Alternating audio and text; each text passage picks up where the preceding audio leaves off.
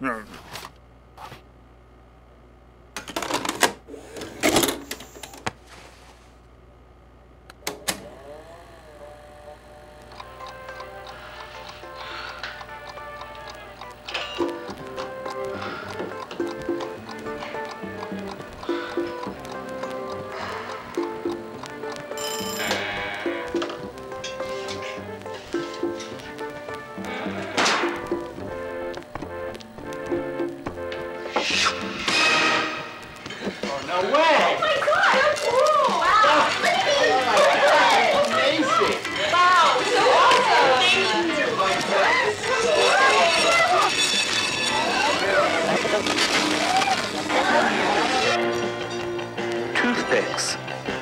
when your kids won't eat anything else.